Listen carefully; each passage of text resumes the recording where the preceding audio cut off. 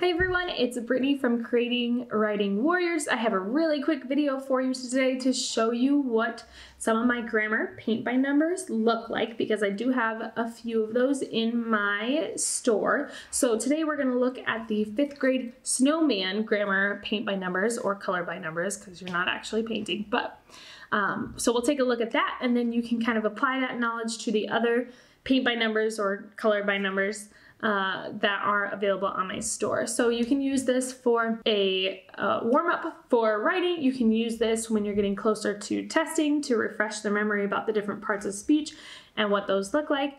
Or you can use this as a fun holiday or winter activity as you gear up for maybe winter break or maybe you just come back from winter break. So it's pretty pretty fun, pretty quick, and hopefully your students will uh, be engaged while they're using this and so let's take a look at what it looks like really quickly. This is just what I used to make the paint by numbers. So I drafted the shape and the colors and decided uh, how many of each I wanted. I knew for fifth grade standards for grammar, they talk about in the writing standards, they talk about adjectives, they talk about prepositions, they talk about uh, the perfect verb tense, they talk about conjunctions, and they talk about interjections. So I wanted to have a product that hit all of those. And so you can kind of see my, my work as I was trying to do this. I wanted to make a decent amount of different options. So you'll see there's 60 total. There's 28 preposition, prepositions, 14 perfect verb tenses, 10 conjunctions, three adjectives, um, because they, they work on adjectives in third and fourth grade. So by this time, it's pretty much just recognizing adjectives and uh, maintaining that definition in their head, and five interjections.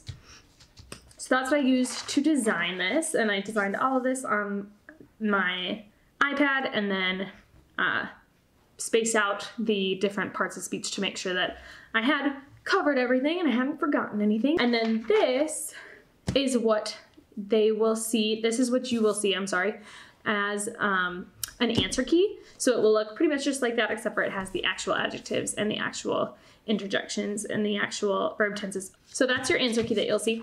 And then if you look here, this is what the students will see. I think it's easiest they'll have this without the coloring and they'll have the answer key and I think it's easier if you print them back to back like I did here because then the students can reference it while they're working and you'll see that there's uh, for yellow, they want an adjective. For brown, conjunction. For light blue, preposition. So, and then blue, interjection, which is different than my uh, original draft. So I must have changed that, thinking that they needed to work more on their interjections than on their perfect verb tense. And then you'll see white slash, and it's also, it's clear. So it's basically whatever color they want to paint or to color that is going to be the perfect verb tense.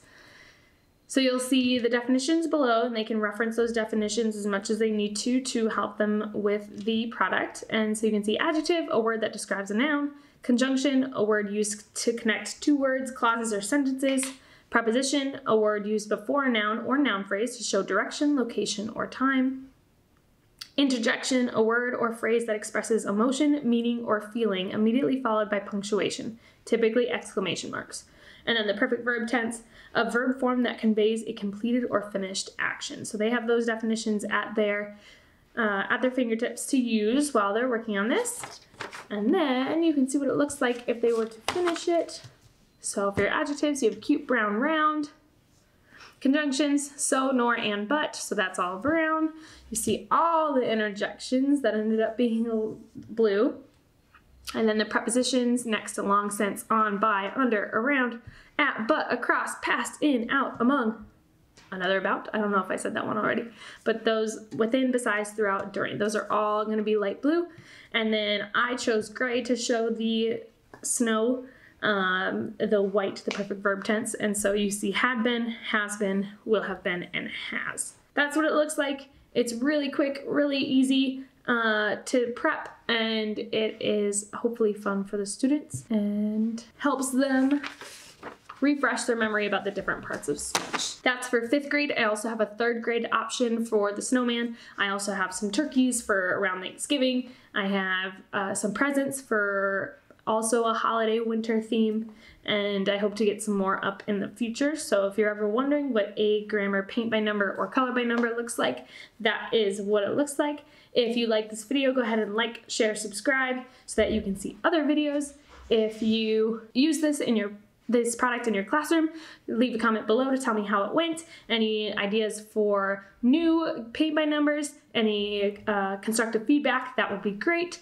If you would like to follow me on social media to see what I'm doing for Teachers Pay Teachers and to see what I'm doing outside of Teachers Pay Teachers, go ahead and click the Linktree below and follow me there. There's also a freebie on there for you. Oh, and of course I'll drop the links to the various places where you can get this product down below. I hope you all have a great rest of your day, and I will see you in the other videos.